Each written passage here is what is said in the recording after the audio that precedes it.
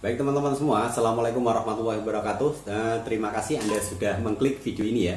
Eh, Bagaimana kabar Anda? Mudah-mudahan Anda sehat dan saya juga sehat Oke, Eh, Untuk video kali ini ya, saya akan tutorialkan alpukat kocok di harga 10.000 Kalau di video sebelumnya ya, saya sudah tutorialkan bagaimana caranya membuat alpu- alpukat kocok di harga 5.000 Eh, Sekarang saya akan tutorialkan kembali Sekarang yang di harga 10.000 Oke Eh, ternyata setelah saya jual ya minuman ini sangat banyak sekali diminati ya.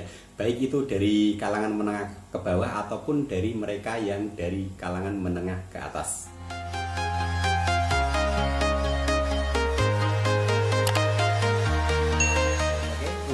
Oke, di sini saya sudah siapkan ya untuk bahan-bahannya. Eh, ini adalah alpukat yang seperti ini ya, Eh, dengan ukuran eh, tidak terlalu kecil, tidak pula terlalu besar. Eh, ukurannya ini untuk satu kilonya ini eh, 6 biji, jadi kita lebih mudah membaginya. Jadi kalau di sini itu kan harganya 20 ribuan ya, kalau yang ukuran segini. Eh, jadi kalau 6 biji itu seperti ini ya satunya ini harganya eh, berapa ya? Kalau 20.000 dibagi 6 eh, 3.300-an. Anggaplah 3.500 ya. Tapi kalau 3.500 kali 6 itu kan jadi 21.000. Jadi untuk lebih mempermudah menghitungnya ini anggaplah ini modelnya ini 3.500. Nah, di sini saya sudah siapkan juga untuk gelas cup oval ya dengan ukuran 16 oz. Eh, saya sudah siapkan juga untuk brown sugar atau gula merah. Ini ukurannya 100 ml. Biar lebih mudah ya, saya sambil berdiri aja. Nah, ini untuk timbangan saya sisihkan saja. Eh, kita langsung belah untuk alpukatnya. Bismillahirrahmanirrahim.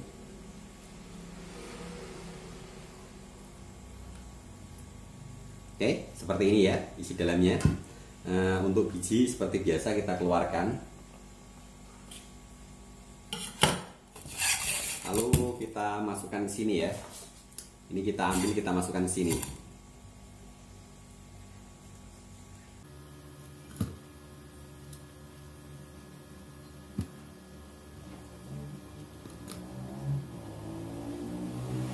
Oke, seperti ini ya. Nah, ini kita masukkan semuanya.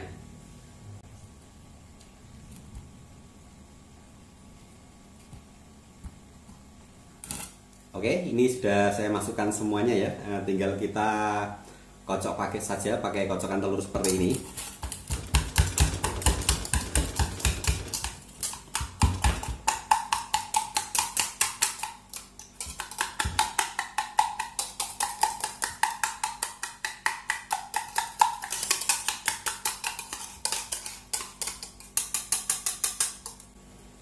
Oke, eh, sampai kira-kira seperti ini ya. Setelah seperti ini, baru kita masukkan ke dalam shaker seperti ini. Oke, kita masukkan ya.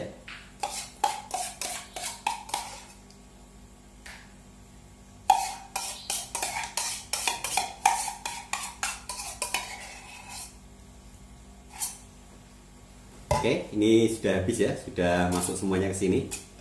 Ini saya sisihkan dulu. Kemudian ini untuk gelas cupnya ini, ini kita isi dengan es batu penuh. Oke, saya isi es batu penuh seperti ini ya. Nah, saya letakkan dulu.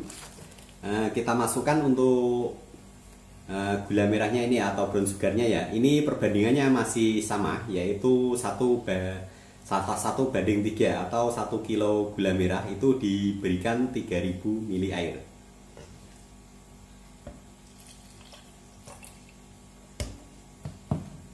Sekarang kita masukkan untuk simpel sirupnya ya. Ini cukup saya berikan 10 ml saja.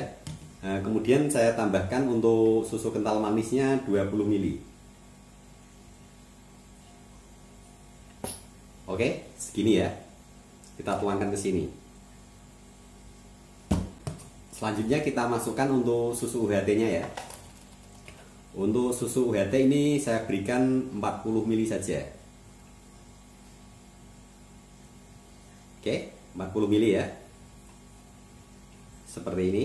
Kemudian tinggal kita masukkan saja untuk es batunya. Oke, setelah masuk seperti ini kita kita tutup saja ya nah kita tutup seperti ini lalu kita shake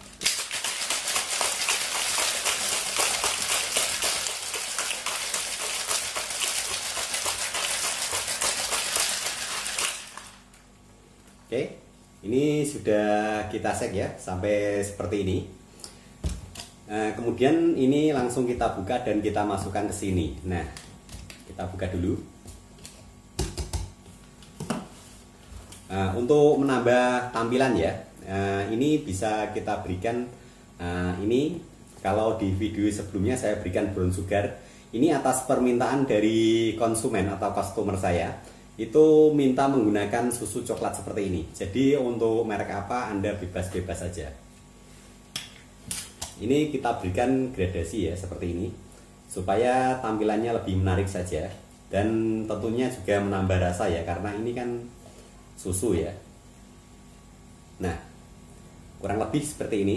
Kemudian kita masukkan.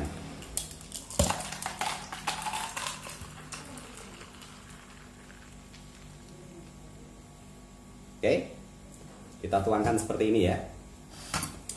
Eh, lalu kita bisa tambahkan lagi untuk topping di atasnya ini kita tambahkan susu coklat juga seperti ini.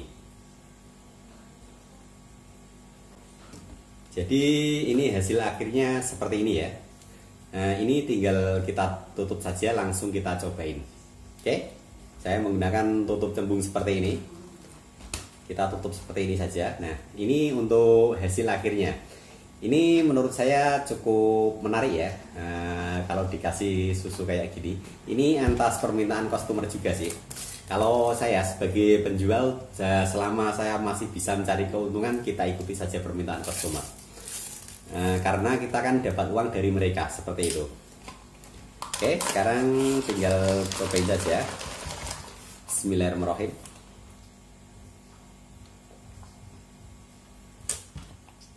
Dan rasanya ini benar-benar mantap banget ya kalau menurut saya.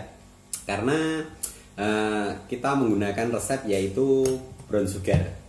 Dan varian seperti ini ya uh, dengan menggunakan cup 16 oval seperti ini biasa saya jual di tempat saya seharga Rp10.000 saja Uh, untuk HPP-nya berapa ya? Seperti biasa silahkan Anda cek di deskripsi video ini. Oke, terima kasih Anda sudah menonton video ini. Mudah-mudahan sedikit ilmu yang saya bagian bisa bermanfaat. Jika dianggap bermanfaat, silahkan video ini Anda share ke media sosial kalian. Oke?